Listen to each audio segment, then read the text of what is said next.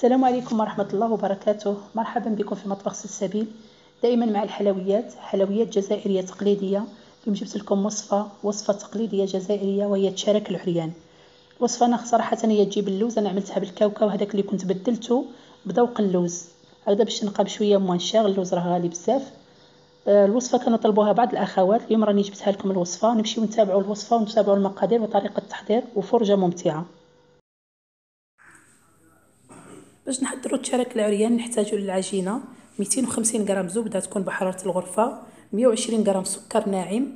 زوج بيضات. نحتاجوا رشة تاع خمارة الكيميائية ورشة تاع الملح. نحتاجوا الفرينه والماء. وباش نعملوا الحشو نحتاجوا عبر ونص تاع الكاوكاو. أنا كنت خدمته اللي خدمته على طريقة اللي حولته لتحويل الكاوكاو إلى بنة الفول عفوا بنة اللوز.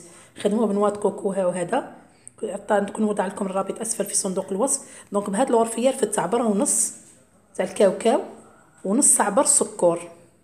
نحتاجو مبشور ليمونة وماء الزهر باش نجمعوا هاد الحشو.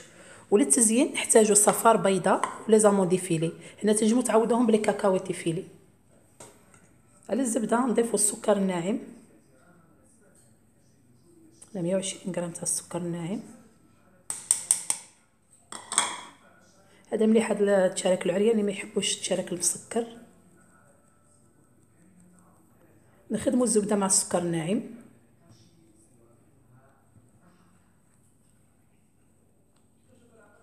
نضيف الان البيضه الأولى.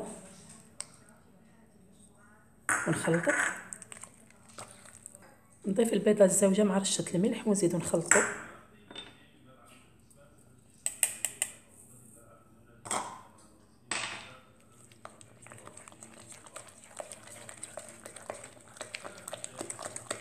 نضيف هنا الفرينة. تدريجيا ما نضيفوش كمية كبيرة. ونبداو نجمعو. هنا نضيف رشة تاع الخميره الكيميائية وراني دائما نزيد في الفرينة ونجمع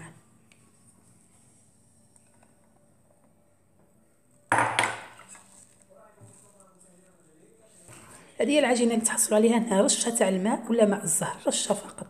لا تجمو كاع تستغناو عليه. باش العجينة تمسك لنا جيدا. بعد ما كملنا مع العجينة نمشيو نسقدو حنا الحشو تاعنا نزيدو هنا السكر مبشور الليمون ونجمعوه بمزهر ونأسيو داك السكر ندوبوه كي نكونوا بمزهر ندوبو داك السكر جيدا. مبشور الليمونة. هنا واللي عنده متمكن وعنده اللوز يستعملوا باللوز.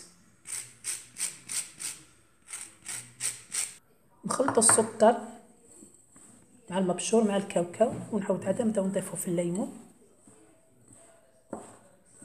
هاد الكاوكاو يجي البنة تاعو مليحه déjà حنا خدمناه وزدنا معاه noix de coco.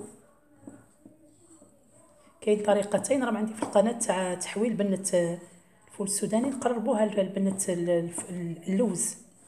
ما تبقاش ديك البنة الزهيمه تاع الكاوكاو. نبخو بماء زهر كي شغل نعجنوها. هذه هي la farce اللي نتحصلوا عليها. شوف ونتنجمع عجنتها حتى ذوبت هذاك السكر كليا. نبداو نشكلو في في التشارك العريان تاعنا. بعد ما كملت الحشو الان نبداو نبسطو في العجينة نعملو le plan de travail بالفرينة. هنا ملاحظة بالنسبة للعجينة نضيفوا لها الماء. حوالي كاس تاع الشاي تاع الماء ونعجنوها جيدا. ما تخليوهاش la pâte كيما تاع ال sablé sinon ما ينجح لكم ما ينجح لكمش التشارك هنا السمك حوالي خمسة مليمتر. ولا كان عندكم هذا القياس تاع كعب غزال استعملوه ما كانش عندكم بالسكين فقط تعملوا شكل مثلث. أنا هذا عندي نعملو هكذا باش يجي حبه كيف اختها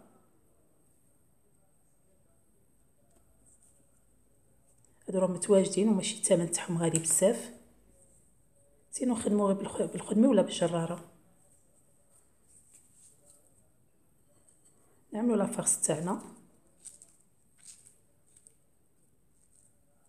نعملو هكذا شكل بوده حربوش صغير ونلويو.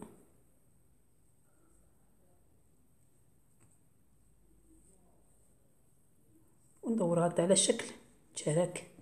نعطيو شكل كرواسون هذه هي بالنسبة للحبات تاعنا تاع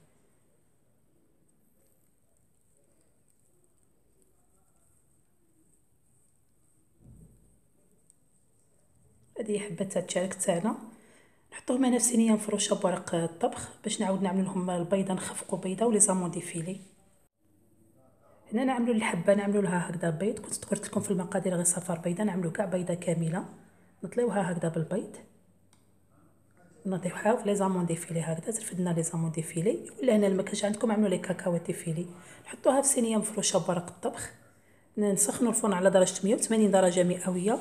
ياخذوا اللون الذهبي ونخرجوهم تشارك العريان. نشوفوه إن شاء الله في صحن التقديم. هذا هو تشارك العريان تاعنا بعد ما خرجناه من الفرن. كما راكم تشوفوا لون ذهبي خفيف. هنا تحبوا تعملوا لها هكذا شوية تاع السكر كلاص تحبوا تخليوها عادي هذه هي بالنسبة لوصفة تشارك العريان. نتمنى إن شاء الله تعجبكم. هذا هو تشارك العريان. في الشكل النهائي تاعو. هنا كاين اللي يحب يعمل سكر كلاص كاين اللي ما يحبش. هذا يبقى حسب الذوق.